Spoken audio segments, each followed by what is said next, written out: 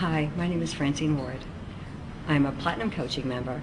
I've been speaking for about 15, 17 years, and I plan on being a coaching member for life. Why? Because James produces results. First time I came to him, I learned so many things that I have already implemented that have taken my business to another level. I want more of what he's got.